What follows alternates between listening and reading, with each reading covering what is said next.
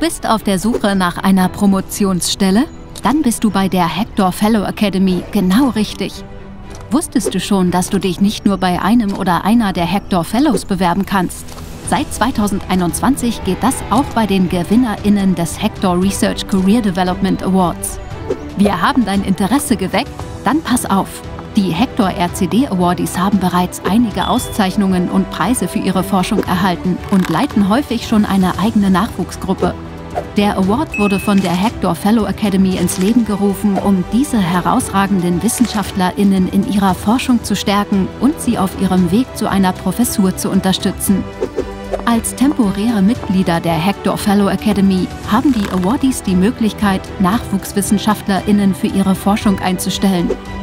Die Hector RCD Awardees sind wie die Hector Fellows in den MINT-Fächern Medizin oder der Psychologie verortet. Auch hier kannst du dich entweder auf eine ausgeschriebene Stelle bewerben oder eine eigene Forschungsidee einreichen.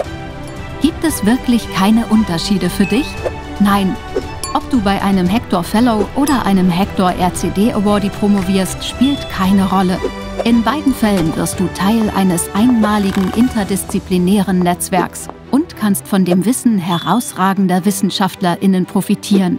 Nebenbei kannst du sogar von Management- und Softskill-Kursen profitieren und dich weiterbilden. Klick jetzt auf das eingeblendete Video, um zu erfahren, wie der Bewerbungsprozess funktioniert. Wir freuen uns auf deine Bewerbung.